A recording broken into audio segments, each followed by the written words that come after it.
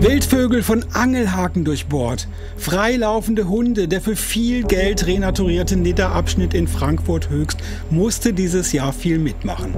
Es wird gebadet, obwohl verboten. Müll liegt herum. Partystimmung im Sommer. Das Nachsehen haben die Tiere. Vor allem die Vögel, weiß Martina Schane vom Wildvögelschutzprojekt Oase. Es fängt so an, dass die äh, Hundebesitzer auch mit Leine, aber auch ohne Leine hier laufen. Und wenn man die anspricht, gerade in Brutzeit, Sitzzeit, ähm, ich habe das so oft erlebt, dass sie nicht ganz freundlich waren. Erst diesen Monat wurde ein junger verletzter Schwan gemeldet. Wir hatten einen Fall mit einem verletzten Schwanküken und ähm, der Bauch war gerissen, also von Hund angefallen durch das Verhalten der Hundbesitzer. Und die Leute, also junge Damen, haben mich total äh, ja, ausgelacht. Ein anderer Fall. Es gibt eine verletzte Kanada-Gans. Die Menschen haben mir mitgeteilt, dass da ein Tier durch Hund äh, verletzt wurde. Ich habe es gesucht, dann gefunden und äh, mit blutigem Kopf abgehäutet. Und dann habe ich es gefangen, Polizei, das gemeldet, zum Tierarzt dann gefahren. Zu retten war die kleine Gans nicht mehr. So etwas geht natürlich nahe. Ich weine dabei sehr oft, weil es, ich, es ist schlimm für die Tiere, so zu leben mit solchen Schmerzen. Seit über fünf Jahren setzt sich die 42-jährige Martina für Wildvögel ein. Sie gründet ihr Projekt Oase, investiert ihre gesamte Freizeit für die auch finanziell aufwendige Arbeit. Fast jeden Tag gibt es einen Hilfseinsatz für die hauptberufliche Nachhilfelehrerin.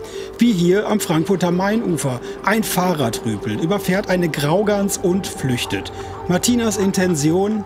Mir geht es um das Tierleid, bisschen so reduzieren, minimieren, weil alles, was man äh, gemeldet bekommen hat oder sieht, über 90 Prozent durch menschliche Einwirkung oder Gewalt entstanden ist. Ein weiteres Problem an der Nidda sind illegale Angler. Hier sind Angler, schwarze Schafe mit, ohne Angelschein. Und natürlich werden oft die Angelhaken und Schnüren auch liegen gelassen, abgetrennt und die Tiere verletzen sich. Die Probleme sind bekannt, sagt uns Volker Rothenburger von der unteren Naturschutzbehörde in Frankfurt. Besonders äh, dramatisch ist es, wenn Fische ihren Laich in die Kiesbänke legen und die Leute baden dort und äh, wühlen sozusagen die Kiesbank um und damit geht auch der Laich verloren, weil er mit, der, mit dem Fluss abgetrieben wird. Eine sogenannte Allgemeinverfügung ist in Arbeit, sagt Volker Rothenburger. Ein Teil des Niederlaufs wird unter strengen Schutz gestellt.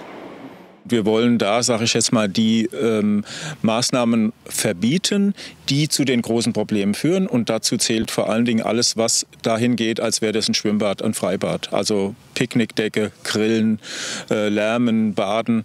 Bis 2013 gab es hier ein klassisches Wehr für Fische unüberwindbar. Dann wurden knapp 4 Millionen Euro für die Renaturierung des Nidderabschnitts investiert. So können nun zum Beispiel Meerforellen bis in die Nordsee hochwandern.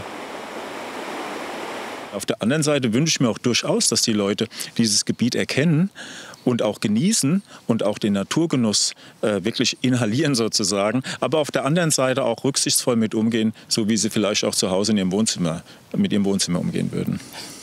Ziel ist es, dass sich die Situation spätestens im nächsten Jahr beruhigt und vielleicht auch Martina Schane an der Nidda keine Rettungseinsätze mehr tätigen muss.